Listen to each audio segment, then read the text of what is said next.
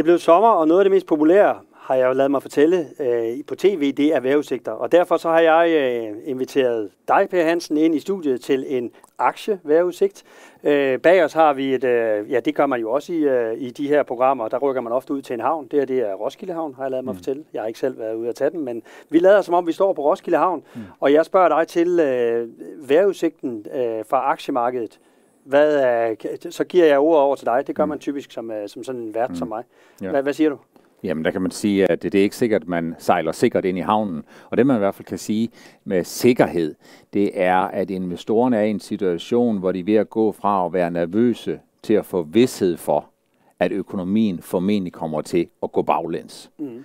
Det er jo sådan set i princippet, hvis vi bare var 12 måneder længere fremme, så kan man sige, så er vi nok to til tre måneder fra den ultimative bund. Men udfordringen den er, de to-tre måneder, de kan altså godt være rigtig længe. Men som meteorolog på skolen der, så tænker jeg, det, det med at se på, hvad der er sket, mm. det er jo relativt nemt. Mm. Og, og der kan man sige, at det har været seks måneder med jamen, altså skyer, der er blevet større og større, mm. og, med, øh, og så videre, og så videre. Altså, er det, er det, er det, er, hvor, vi så, hvor står vi lige netop nu øh, i, den, i den, om man så må sige, første del af krisen? Jamen, jeg tror, vi står i, øh, for aktiemarkedet generelt set, der ja. står vi i den sidste del af tilpasningen. Det betyder jo ikke, at den er færdig om en dag eller en uge eller nødvendigvis. Det, jeg tror, man kommer til at se, det er, at vi kommer til at se halvårsregnskaberne, som isoleret set bliver fornuftige, men hvor guidance for andet halvår kommer til at afspejle noget af det, vi har set inden for de sidste 3-4 uger, og der er sket rigtig, rigtig meget. Mm. For det første der er sket det, at investorerne nu lige pludselig øh, med et er faktisk øh, meget sikre på, at der kommer en recession, og jeg tror også, at risikoen er steget rigtig, rigtig meget. Ja. Vi har også set en lang række andre faktorer, som begynder at give sig. Vi ser nogle af de bløde råvarer, vi ser øh, bomuld, der falder med en 30-40 procent øh, her i den sidste del af juni måned, som en konsekvens af, at detailhandlen, beklædningsindustrien holder tilbage. Vi kan se det alle steder, at man melder om forsigtighed. Så vi ser en række af de her faktorer, som begynder at tilpasse sig, både fordi der er en efterspørgselseffekt, men også fordi der er et kollaps i den her spekulative tiltro, som kom efter, at Rusland gik ind og havde den her aggression mod Ukraine. Det, det er der, hvor man ligesom kan se, når de her størrelser begynder at give sig, så giver det på kort sigt yderligere nervøsitet mm. hos investorerne, men det er altså en del af den her renselsesproces. Og i virkeligheden, hvis man skal blive i det meteorologiske sprog, du er, en, øh, er, du, er du en Henrik Voldborg, eller er du, øh, hvem, hvem er du i, øh, hvem vil du helst være? Henrik Voldborg, Michael Jarnvi eller Tejlgaard? Jeg ved ikke, du kan huske nogle af de gamle KF'er. Er du, er du, er du en, er du, er det, altså, hvor, hvordan ser du på det her? Øh, er, det, er det et nyt værtssystem? Altså er det et nyt aktiesystem, vi skal over i? Fordi jeg hører, jeg hører dig sige, at vi, vi er på vej ud, men det er ikke sådan, at der ikke kommer skyer fremover. Det nye her i 2022, det er, at vi har jo ikke centralbankerne som stødpuden. Vi har, at aktier går ned. Det sker sjældent. Det sker sjældent, de går så meget, som de gør nu. Øhm, men vi har også obligationer, der går ned. Så for aktieinvestorer, så har det været øv. Men for investorer, som blander aktier og obligation, har det også været øv. Og det er det der med, når den her 60-40 eller 50-50 model, den er i stykker, jamen så er det jo der, hvor man ligesom kan sige, på den ene side, på den gode side, på den langsigtede side, forudsætningerne for at tjene penge langsigtet på aktieobligationer, de er faktisk blevet meget bedre, og dramatisk bedre, end man kunne få indtrykket af, når man bare hører på nyhedsstrømmen, fordi obligationer jo, nu, jo nu i den lange ende af skalaen afspejler, at det er muligt at få et afkastbidrag, også for obligationer. Mm. Og aktier, de er faktisk også stik imod det, som vi måske hører, de er faktisk også blevet meget mere interessante set langsigtet perspektiv, og det langsigtede afkastpotentiale er blevet større.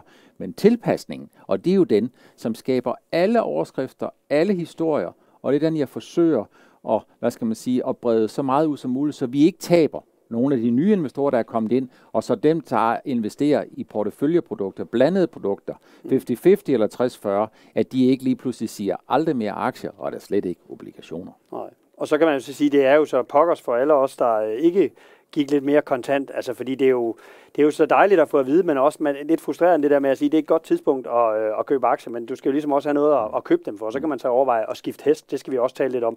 Den her øh, lidt populære øh, ja-hat her, mm. er, det, er det den, du skal have på som øh, til andet halvår, eller er det mere en, øh, en stråhat og en måske-hat, han har sagt? Altså, hvad, hvad, hvor, hvor tror du, vi skal hen øh, de næste seks måneder?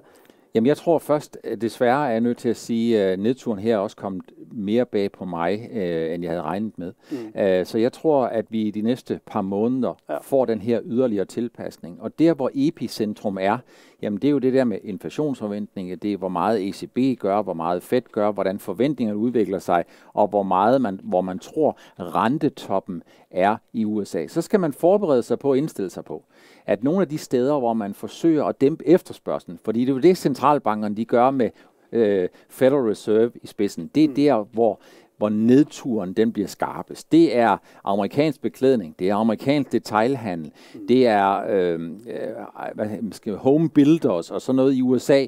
Det er Bed Bath and Beyond, som jeg vil kalde bad Bath and Beyond, ja. efter den der kæmpestore nedtur, de har haft. Så det er der, hvor tilpas, tilpasningen bliver hurtigst, men det er også der, hvor den bliver meget brutal. Og så er der den øvrige del af aktiemarkedet, hvor vi måske mere kan diskutere, øh, om vi er ved at være på plads, eller på vej til at komme på plads. Men der er meget nervøsitet, og der bliver fortsat en, øh, et, en overvægt af negative historier de næste 1-2 måneder. Så på den måde, som vi får at bruge billedet, en tur i, øh, en tur i hvad hedder det, lænestolen, han har sagt gyngstolen, og så lige slappe lidt af, det, det, det, det, øh, det gør ikke noget skidt, kan man sige lige nu og her. Hvis man bare lige slutter af med at sige, aktieferien, skal den holdes, og det vil sige, at øh, til, til 12 måneder frem, er det så, skal man blive i Danmark, det vil sige danske aktier, skal man blive tage rundt i Europa og tage på europæiske aktietur, eller skal man tage til USA?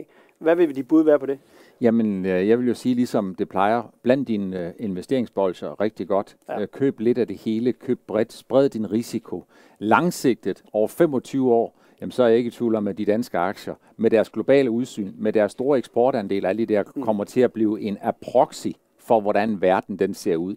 Ja. Men på kort sigt, der er der altid stor risiko for, at det danske marked, som værende sådan lidt et randmarked, bliver hårdere ramt end andre markeder.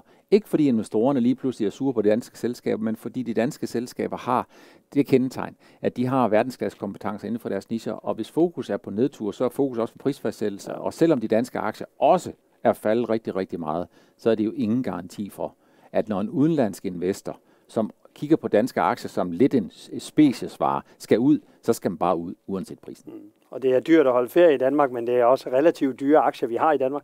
Så med det billede, Per, tak for, for den aktievejrudsigt, og til jer derude, tak fordi I så med.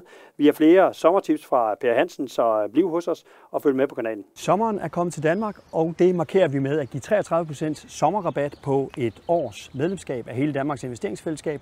Du får automatisk ni magasiner, ind af postkassen. Du får nyhedsbrev, du får uddannelse, du får events, og det sker alt sammen i Dansk Aktionærforening. Skynd dig at melde dig ind, få din rabat på 33% Det sker på shareholders.dk-sommerrabat. Vi glæder os til at se dig.